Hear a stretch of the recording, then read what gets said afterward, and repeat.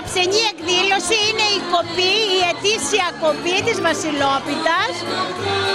Είμαστε στο 20ο έτος λειτουργίας μας και χαιρόμαστε ιδιαίτερα. Μας τίμησε ο Σεβασμιότατος στην Πίτα. Επίσης ο πρόεδρος της Μέριμνας Δημοτικής ε, Δημου, Δήμου Κομωτινής, ο κύριος Σωτηρακόπουλος.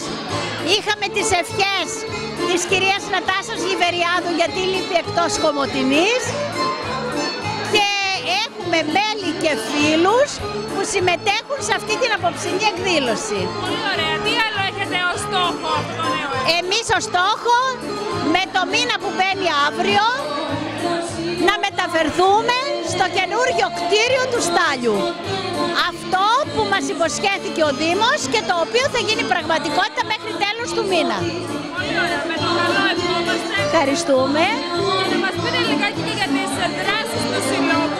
Ο σύλλογός μας ε, έχει εργαστήρια, εκτός που κάνει εκθέσεις δύο και τρεις φορές το χρόνο και συμμετέχει και διοργανώνει και την έκθεση των ελευθερίων για τα, του Δήμου.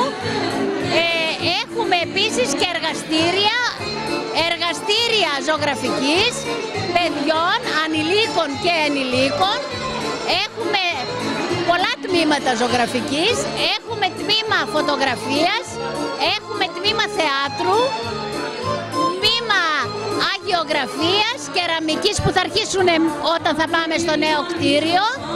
Και ευελπιστούμε ότι θα πάμε ακόμη περισσότερο με άλλα τμήματα όπως και ξυλογλυπτικής γιατί ενδιαφερόμενοι υπάρχουν πάρα πολλοί. Και βλέπουμε κυρία Εκμεκτσή ότι μέσα από τις εκδηλώσεις σας τα μέλη σας αυξάνουν.